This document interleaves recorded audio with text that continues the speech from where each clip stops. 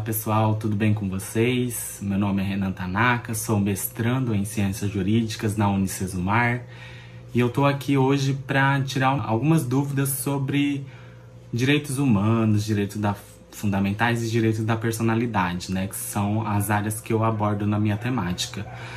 É, a primeira pergunta que eu recebi foi o que são direitos humanos, né? Ou o que é direitos humanos?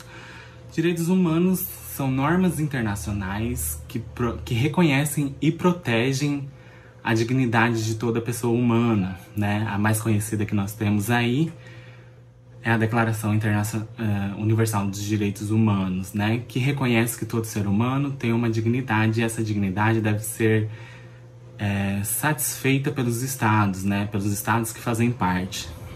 A outra pergunta que eu recebi é qual é a diferença entre direitos humanos e direitos fundamentais?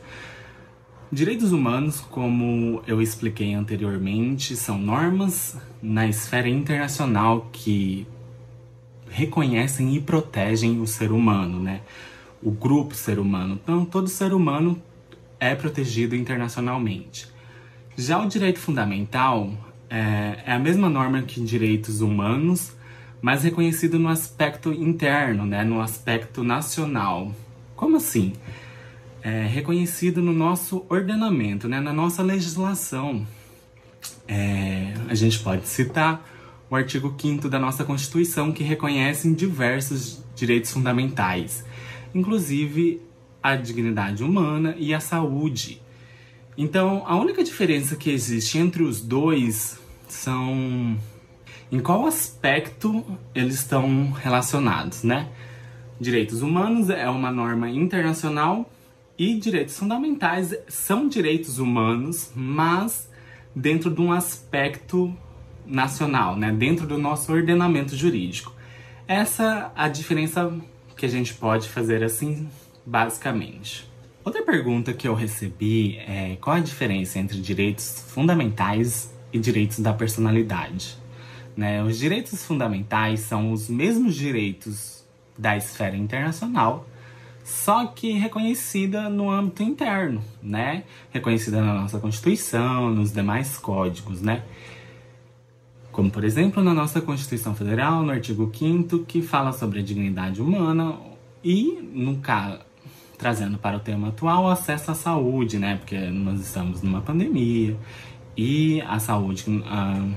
e a gente pode linkar atualmente como um direito fundamental à saúde de todos, né? Então, esse é um direito fundamental de todo o grupo de indivíduos, né? Já os direitos à personalidade, é, temos a proteção específica de alguns direitos, né, do indivíduo, como por exemplo o direito à imagem, à privacidade, a segurança, né, a identidade.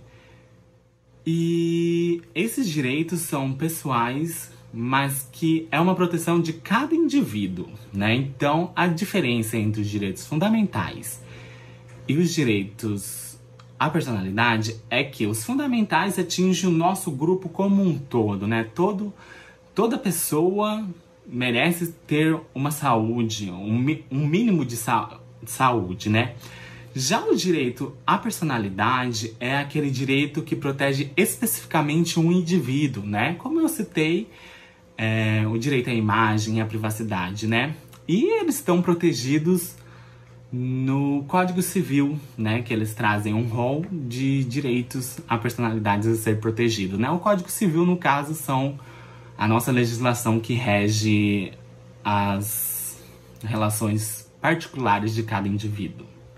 Agradeço muito pela participação, pela atenção de vocês. Muito obrigado.